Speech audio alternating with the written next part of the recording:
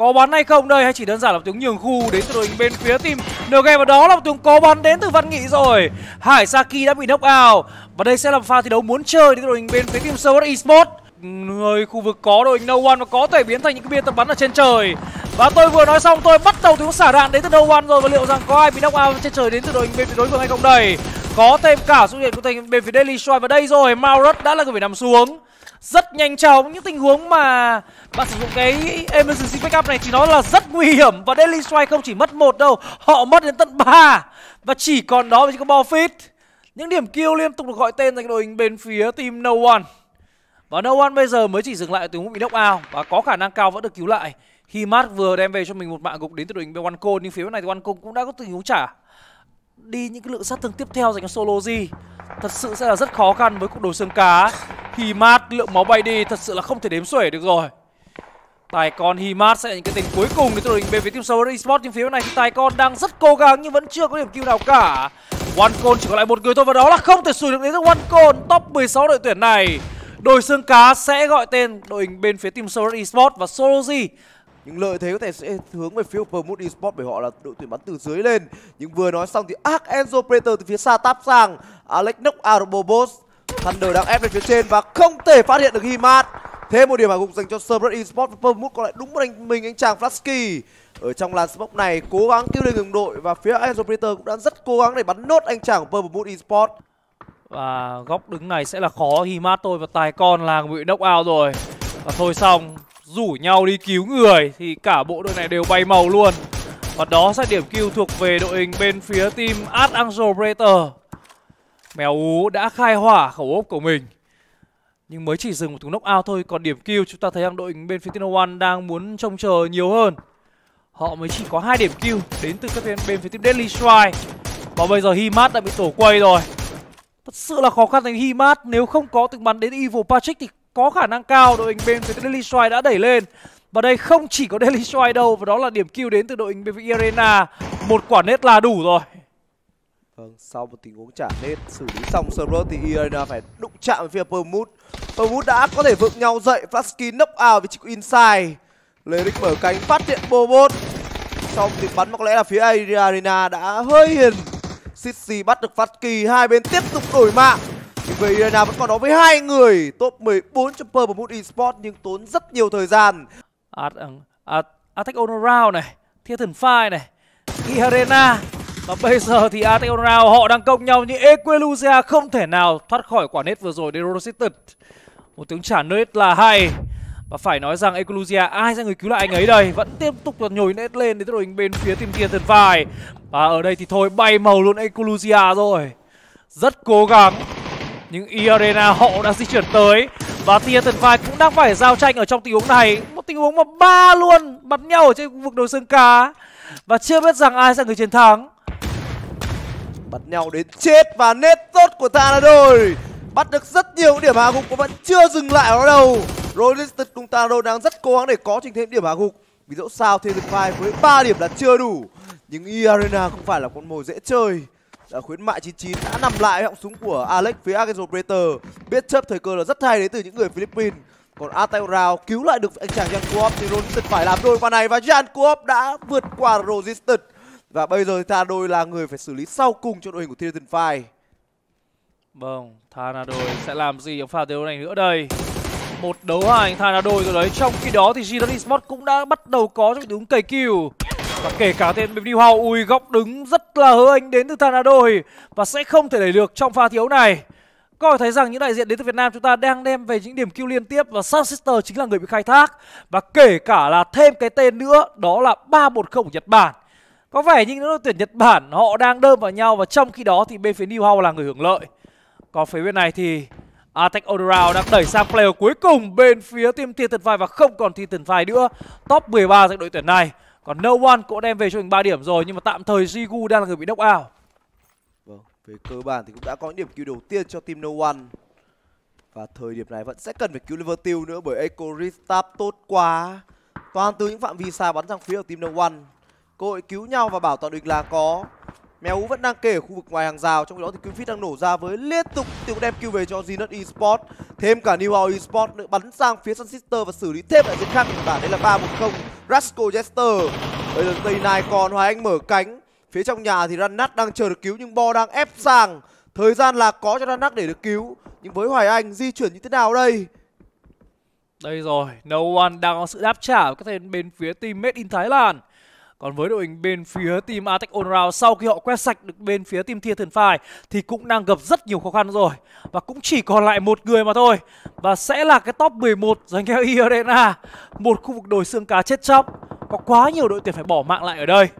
Và thời điểm hiện tại thì New House hay đội hình bên phía team NG và Ginati Sport đang là đội tuyển có cho mình đầy đủ cả bốn người. Adams Predator thì cũng đang có cho mình rất nhiều cơ hội, nhưng hãy nhìn xem vòng bo đã ủng hộ cho các đại diện đến từ Việt Nam rất căng, thêm một đại diện dừng cuộc chơi. Thời điểm ta thấy rằng có rất nhiều đại diện Việt Nam có mặt ở thời điểm hiện tại. Và để xem rằng là đại diện nào Việt Nam có thể góc đứng này không phải là góc đứng quá đẹp đâu. Và chưa kể là họ cũng đang ao bò nữa cơ. Thật sự đang bị kẹp xăm giữa đội hình bên phía team made in Thái Lan cùng với đó là các tên bên phía team Nge ở trong vòng bo. Nào, No One sẽ vào bo kiểu gì đây? Smoke liệu rằng có là còn dành cho vị trí Lâm Bảo Ú cùng với Virtue nữa hay không? Thật sự là rất khó khăn. Còn trong khi đó, đội hình bên team Gách họ cũng chỉ còn lại một người thôi sau một tiếng knock out tốt đến từ Sun Sister. Và bây giờ thì Gách cũng ra đi luôn ở với những ngôi vị top 8 rồi. Sun Sister, một trong những game thi đấu mà đội tuyển này cũng đang cố gắng đem về cho mình nhiều điểm kill hơn. Ở vị trí hiện tại, Sun Sister cũng phải đem về cho mình ít nhất là hai cái top 1 đấy. Thì may ra mới có thể có cơ hội vào top 8 còn bên này thì thôi, đã nói rồi, rất khó thì no one. Lâm Bảo không còn cả mũ luôn, Giáp đã gần như là vỡ hết sạch. Và chúng ta thấy rằng những quả smoke có thứ giữ lại được mạng sống để đội hình bên phía No One còn với Sanchester thì họ cũng đang để mất người liên tiếp và thôi xong đúng một thoáng chốc thôi. Sơ Z cùng với đó là cả Hoài Anh của bên phía New Khiến cho bên phía team Sanchester bay màu rồi. Rất bất ngờ. Phía của Made in Thailand bây giờ đang muốn quét viên bó thêm lần nữa chăng? Với thành viên team No One còn lại đúng một mình, chàng Lâm Bảo ở góc này Lâm Bảo bị kẹp giữa Lan và New House Esports và mong sao sẽ là điểm kill dành cho New House Esports. Nhưng nết dã vào Lâm Bảo yếu máu giáp vỡ tan. Quá vất vả cho chàng trai trẻ. Và với quả nết của Rock Nanji, Lâm Bảo nằm top 6 cho team No One. Bên Thái Lan đang muốn quét tiếp và họ mong muốn có nhiều điểm hơn. Và với phía New House Esports cần phải có động thái đáp trả. Nhưng Hoài Anh bị knock out confirm đi là quá lẹ. Long ca phát hiện được người nhưng góc này cũng hở ra quá nhiều thứ bởi chỉ là một cái tán cây thôi là không đủ cho Long ca rồi. Nhưng có sự hỗ trợ từ Zenith Esports, Jet Knock out và Confirm đi Rock Nanji. Tiếp tục Long ca muốn ép lên. Và ngay cái góc kia cây cây kia thôi, vị trí của anh chàng Explosive check rất kỹ từ phía Long ca của đồng đội mình và ép bên trong pha này. Ui, giấy xác đến từ vị trí của Long ca, lộ vị trí mất rồi. Và bây giờ thì liệu rằng có biết đằng sau gốc cây này đang là một player quan trọng đến từ BMS in Thái Lan hay không? Đây? Long ca lộ góc đứng sấy tốt đến từ Evil Patrick cùng với đó Exorcist cho thấy rằng những đội tuyển Việt Nam chúng ta cũng đã có từng để bất người rồi, nhưng Exorcist ơi, góc thi đấu này ui quả nết, trừ 99 và sau đó là một viên đạn barrel vào mồm đến T1706 sẽ là khó cho đội hình bên phía team made in Thái Lan sẽ chỉ còn lại cho mình đó là hai người mà thôi. Còn với Long ca, cái chạm này sẽ là có đến từ vị trí Duy chúng ta chuẩn bị đến một câu chuyện đó là PVS mở rộng rồi. Khả năng rất cao sẽ là như vậy. Ở trong vòng bo này có đến tận đó là ba đại diện đến từ Việt Nam. Made in Thái Lan cũng chỉ còn có hai mà thôi. Adams Operator cũng là một trong tên sừng sỏ. Khi mà Alin Bot đang có trong góc đứng là đẹp. Nào, vẫn đang cố gắng tap. Và bây giờ thì Chí Duy, Long Ca đều đi một giải trước đội hình bên phía team Made in Thái Lan rất khó khăn, một đấu một và để thua trong pha thi đấu này. Top 5 dành cho New House rất đáng tiếc cho một đại diện Việt Nam nhưng rõ ràng Jacob đã từng tác rất tốt và nhận thêm đồ từ đội thôi chứ không thể cứu được Darkman nữa. 9 điểm hạ gục cho Made in Thái Lan ở lượt trận này. Và sau cùng chỉ là một người duy nhất. Và hiện tại ta thấy Arkansas Predator, Zenith Esports đang là hai đại diện còn đầy đủ cái lượng nhân sự nhất. Ở New Generation Esports vẫn còn ba và vừa rồi thậm chí cũng xử lý nốt Jacob cốp của bên Thái Lan với top thứ tư. Và hiện tại cơ hội để đại diện Việt Nam đem về top 1 cũng là rất khả quan. Ờ, có chăng thì khó hơn một chút cho New Generation Esports và họ đã bị kẹp bị kẹp giữa hai cái tên. Đây là một trong những vòng bò chúng ta thấy rằng rất khó chịu. Đội hình bên phía team Adams Predator lại đang có trong khu vực high ground. Các bên bên phía ở GD Esports. Ừ thì mặc dù low ground thật đấy, nhưng mà đây đây chính là điều tôi muốn nói. Rất ít những phạm vi di chuyển có những tán cây, có những gốc cây thôi, nhưng chừng đó thôi là không đủ dành cho bên phía team Zinus Esports đã là một thế có lợi hơn dành bên phía team Arangel Predator rồi. 4 đấu 3 đấu 3 và phía bên này thì không biết rằng đến bao giờ bên phía team Arangel Predator mới là người bị chạm vào đây. Bởi vì sao họ gần như tách biệt khỏi cuộc giao tranh này và họ có cơ hội vét mạng luôn. Để xem rằng là New Zealand Esports đáp trả nào đấy đạt lú đốc a được một người văn nghị bị ngược trở lại. Alinbot bắn sang phía của cả GE vâng ba đại diện ta bắn xoay vòng và cả ba đội tuyển đều mất người và tạm thời đang cân bằng về lượng nhân sự. Hai hai và hai. Nan ui ba máu Ui, lại quả lửa. nằm luôn.